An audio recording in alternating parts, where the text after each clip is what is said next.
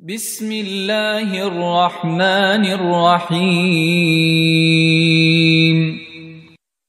أما بعد فعن وابسة بن معبد رضي الله عنه أن النبي صلى الله عليه وسلم قال له جئت تسألني عن البر والإثم؟ فقال نعم. فجمع أنامله فجعل ينكت بهن في صدري ويقول يا وابصة استفت قلبك واستفت نفسك ثلاث مرات.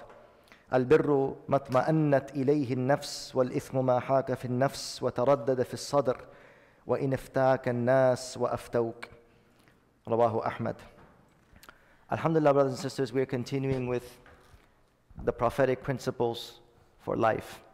And as we mentioned previously, the Prophet والسلام, our deen, our Quran, our way of life is not just something for an unknown and far away hereafter, as some people think. But if we truly have deen in our lives, this deen will perfect every aspect of our lives, our public and our private, our internal and our external, our mental, our spiritual, our physical. All of this is what deen came to perfect. It came to perfect humanity. It came to make insan kamil. As the Prophet ﷺ mentions, بُعِثْتُ لِأُتَمِّمَ مَكَارِمَ الْأَخْلَاقِ I was sent to perfect good character. I was sent to make human beings to the as perfect as they can be. No human being is perfect. But if there's any level which a human being can reach some, you know, status of goodness and some status of perfection, what is that? It is that when we completely follow the deen in all aspects of our life, not in just what, you know, our you know, what we believe to be. La ilaha illallah Muhammad Rasulullah. Are you a Muslim? Yes, check. It's just like a check that we put in a box. If that's what Islam is in our understanding, that was just a, it's just a box that, that, that box that we check. You know, are you Muslim? Check, yes. You know, so the reality of it is, is that this brings everything in our life in order. And when there is an imbalance, as we mentioned in the previous ahadith, what did we mention in the previous ahadith? We saw a person who was praying all night and fasting all day, but there was an imbalance. There was an imbalance. He was, he was perfected spiritually. But in the common everyday, pub, his, his public life, his family life, you see, that was being affected. He was not perfected. So, you know, when we think about religion or we think about Islam or we think about religious practice, we think about a person maybe sitting in that corner of a masjid or remembering Allah all the time or reciting Quran, fasting all day, praying all night. He's perfect, right? Wrong. He has not he has not taken into consideration his family responsibilities. You know, one great scholar just recently, he said something that really touched my heart. It really opened my eyes. He says, one of the reasons why we as Muslims and non-Muslims, they are not ready to accept Islam and not ready to practice Islam is because we haven't understood Islam. We have not properly understood it. We think in our minds we've created a notion. What notion? By our experiences, by our observations, by culture. We have not studied it. We have not read the life of the Prophet. We have not studied the Quran Kareem. We have not seen this Islam embodied in the most perfect form. Otherwise, in our minds, uh, one person is saying, you know, I don't want to practice Islam. It's just too much for me. It's too much for you. Here is an example of the Prophet where he's telling a companion, pray less and fast less and be uh, to give your attention to your family. Why are you not focused on your wife? Why are you not focused on your private matters and your own personal matters? Balancing him. See, that person who thought that I don't want to be a full, proper Muslim because it's going to make me leave my family. He's actually have not understood Islam. The, Prophet, the Islam of Muhammad sallallahu not the Islam of some maybe some people that we see or that we observe or this this notion we have in our mind. We create an image, right? Okay, this was the Sahaba, or this was the Prophet. Whereas we don't really know what balance the Prophet has come with. So, this statement of this scholar was, it really touched me. It really opened my mind that we have not properly understood it. And non Muslims have also probably not understood it, and that's why we're afraid of it. That's why we're intimidated. And we see people that are even, you know, they have movements. They have properly not understood it. They hold one aspect of it and they forget about all the other aspects of it. And the example of this is what Maulana Rumi rahmatullahi in the Mathnawi. He tells a story that one time they brought the elephant from India to Arabia. In Arabia, they never seen elephant. You know? Tara kayfa fa'ala rabbuka bi ashabil fil.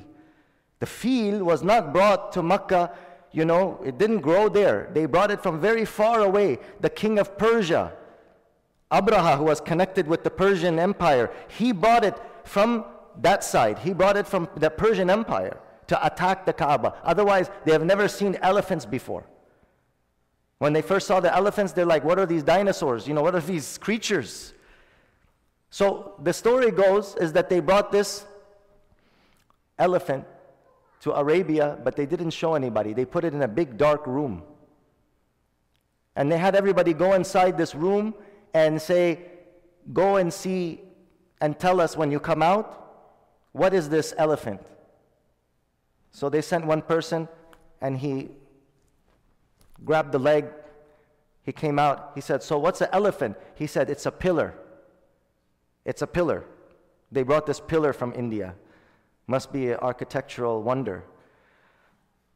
So then a next person comes inside and he grabs, you know, the snout and he said, you know, this is a water hose. The next person goes in and he grabs the ear of the elephant. He said, What is the elephant? He comes out and he says, It's a fan. And then they send a little boy with a light, small light, little child, and he lights with the candle. He looks at the elephant and he says, Oh, no, it's not a pillar, it's not a, you know, uh, hose, you know, it's not a uh, fan. It's, it's a very, you know, it's a very complex animal, very strange and unusual. It has all different parts. It's very large, it's very amazing, it's very profound. Similarly, my dear brothers and sisters, when we, in our understanding of Islam, we see one aspect of it. Some people see political aspect of it. They say Islam is politics. Another person holds on to the spirituality. They say Islam is spirituality and just worshiping God day and night. Another person will grab another aspect of it and says, you know, Islam is jihad fi sabilillah. That's all it is. There's nothing else. That's the only way. So each person, another person holds on and saying, Islam is tabligh, da'wat and tabligh. There's no, nothing else in Islam. Subhanallah. That's right. Like the elephant is a snout, and the elephant is a is an ear, and the elephant is legs, and the elephant is a body. The elephant is all those things, but not one thing does not make the elephant. Similarly, not one aspect makes up Islam. You hold on to that one thing, you said, all of Islam is this, this is not right. Islam is so dynamic, it's so complex, it is so beautiful. As Allah subhanahu wa ta'ala mentions, Al-yawma akmaltu lakum deenakum. This day I have perfected for you your religion. Perfect. Allah says this is kamil deen. It's kamil, complete, perfect way of life. Every aspect, private and public, social and you know uh, private sector, politics and spirituality, family life and you know uh, public life. Every single aspect, spirituality and you know academia and every aspect of it, Islam covers all of those aspects. So, with that being said, when we're talking about these prophetic principles, these are actually lessons from the Prophet ﷺ who's telling us how we perfect our lives, how we attain perfection in our living. That when we're following this, following this deen, these aspects of it should be perfected in our lives. So, with that being said, principle number five. Yesterday, what did we speak about? Yesterday, we spoke about that we should not follow our impulses. We should not make your desire what you are following. And in this one, that the Prophet ﷺ narrates, Wabisat ibn Ma'bad came to the Messenger of Allah ﷺ. And when he came, this is one of the miracles of the Prophet. He wanted to accept Islam. So he came to the Prophet, and the Prophet ﷺ immediately, without him speaking yet, he said, Ji'ta, tas'alu anil birri wal itham. You have come to ask about goodness and sin. You have come to ask about righteousness and vice. Is that correct? He says, Yes, O Messenger of Allah. So then the Prophet ﷺ, he put his fingers together and he put his hand on the chest of this Sahabi, Wabisa. And he says, Ya Wabisa, istafti qalbak, wastafti nafsak. He said, Ask your heart and look into your conscience. Ask your heart and look into your conscience. And he said this three times. And then he says, Al birru matma'annat nafs. He says, Piety is that which the heart feels comfortable. When you do something good, then your heart will feel at ease. والإثم ما حاك في النفس وتردد في الصدر and sin is something that bothers your conscience it bothers your conscience and it itches you inside you know that you're doing something wrong it bothers your conscience وإن أفتاك الناس وأفتوك even if the people give you fatwa and even if the people tell you otherwise if your heart tells you that this is not right then this is not right subhanallah what a principle of life here, the Prophet ﷺ is teaching us what? That one of the most important principles of life is listen to your moral compass. Allah put in the heart of everybody a compass. You know a compass? The compass is always facing towards the north. If you flick it, it'll shake, but then it'll come back to the north.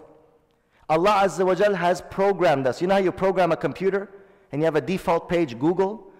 So the default page of the heart is goodness to want to do good. Everyone, Muslim and non-Muslim, is born. كل مولود يولد على الفطرة.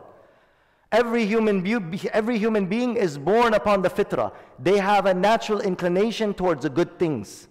And they have a natural disinclination. They know that this thing is not good and this thing is bad. The Prophet ﷺ is telling us that moral compass that you are born with, you must listen to it. Allah Azza wa Jal mentions in the Quran, لا أقسم بيوم القيامة ولا أقسم بن نفس اللوامة. Allah swears by Yawm al-Qiyamah because it's something very great. And then Allah Ta'ala says, I swear by nafs al-lawama. I swear by the self-reproaching conscience that I have instilled inside of you. Yani it is such a great thing that Allah has programmed us with that this conscience is something that it will kill you to make you and bring you back on the right path. So many people commit crimes and they do bad things. And you know what? They're doing all of these bad things, but that moral compass inside their heart eventually brings them back to the right path. This moral compass and this conscience, if we listen to it, you know what's going to happen? It will continuously bring you on the right track. It will continuously bring, bring you on the right path. So many brothers and sisters I know who accepted Islam.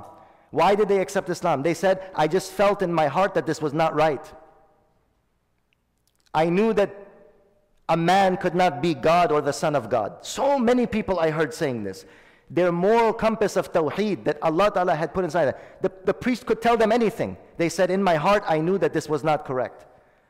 And I have heard there was a, a friend, we were in school together many years later. He was a famous bully. I saw him after many years. I said, Hey man, how you been? I said, You had really bad days, didn't you? He said something to me. It really, it really struck me. I want everyone to listen to what he said. He was a friend, but he used to hang out with the bad crowd. And the bad crowd he used to hang out with, may Allah forgive me, I'll never forget, they used to get together and they used to bully this one kid all the time. When I would see that they were going in that direction, I would just, I would just run, run home. I didn't even want to see it. They would bully this kid who couldn't defend himself. So him, he was a good friend, but when he would, we would gather together with those four or five guys, he would also join in the bullying.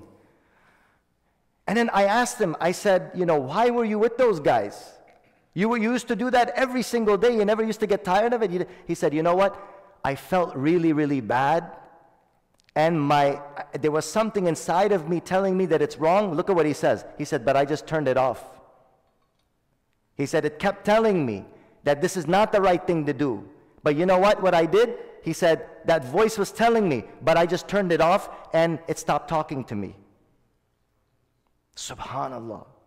This was, this was like when we were in college. I, we, were, we were like in elementary and junior high together. And then later on, four or five years later, I saw him in college and I asked him about this. I said, Man, you still a bully? He started laughing and he said, Nah, man, but you know, I always felt that that was wrong. That wasn't right. He said, And I always heard a voice inside telling me that it's wrong, but I didn't listen to it and I just turned it off, so it stopped talking to me. Subhanallah. This is so powerful because it tells us that this person, he doesn't have any religion. He doesn't believe in God. But there is that nafs lawama inside of him. So many soldiers come back from overseas and they come back with PTSD. What do they have PTSD for? They're fighting for the, you know, liberty and justice, right? This is what, what's happening, right? When they come back, they're suffering from PTSD. Is because that moral conscience will not allow a person, if he's committed anything that is wrong, for him to live comfortably. And there is something that there's only one solution to that that will remove all the PTSD. And you know what that is? That is tawbah. That is repentance. That is ruju ilallah. Ya Allah, tubtu ilayka. Oh Allah, forgive me for the sins that I have committed. And that is the function. Why Allah has put inside of us that nafs lawama because the nafs lawama makes us turn back to what? Repentance. And many of them, some of my, our friends who were, you know, involved in certain things, they said that, you know, the only thing that removed that grief and that depression and that PTSD was when we made tawbah and we asked Allah Ta'ala's forgiveness, then it was, it completely went away. This is why Allah Ta'ala has placed this inside of us. Also in our relationships, brothers and sisters. Sometimes we don't know, is this the right thing to do or is it the wrong thing to do? You have, you know, family or group of people, they're all, you know, joined together and they're doing the wrong thing. Just like this young man who was part of the bully, the team with the bullies. Right? Sometimes we're also, we're with the wrong crowd and in our mind and in our heart, we know that this is wrong. We should not be doing this because my conscience says this is not the right thing to do. You know when it's not the right thing to do? Then leave that. Never ever allow yourself to be in something where your heart and your moral conscience is telling you opposite of that. This is such a beautiful advice of the Prophet ﷺ because if we live by it, you know what happens? We will always be kept on the straight path. You don't ever need a mufti with you. You don't ever need a mufti. Sometimes the biggest, the best mufti is the mufti of your conscience. This is not the correct thing. This is not the right thing to do. And, you know, you might be, eh, you know, you might not have somebody to ask. But this is the, the, the rule that the Prophet ﷺ taught us that what? When you have a question, see within your heart, does it bother you? Does it make you feel uncomfortable? Then know that whatever bothers you, it makes you feel uncomfortable. And in another hadith, it says, وَكَرِهْتَ أَن يَطَّلِعَ عَلَيْهِ النَّاسِ That you don't want people to hear about that you did that. Then you know what? Avoid that. Sometimes we're having conversations with the wrong person. We're having a conversation with somebody of the you know, opposite gender. And you say, oh, it's no big deal. But would you want the person, would you want that girl's father to know about that? Would you want somebody else to, for you to have that, that you're having that conversation? Okay, then, this, then you understand that this is inappropriate then.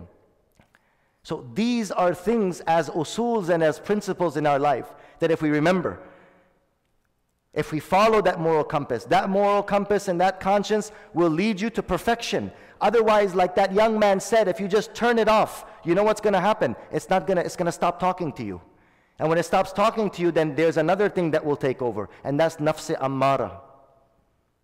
There's that as well. You have the nafs lawama that's constantly telling you, this is not good, this is not right, this way, this, what you said is not good. Sometimes we'll say something, and then later on we'll be like, I shouldn't have said that, that was so bad. That is nafs lawama.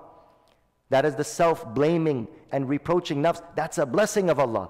Guilt is a blessing of Allah. Telling you that this is not the right thing. When it tells you it's not the right, not the right thing, listen to it. The more you listen to it, it will fine tune you. It will take you to perfection. Allah has placed the shaykh inside of you.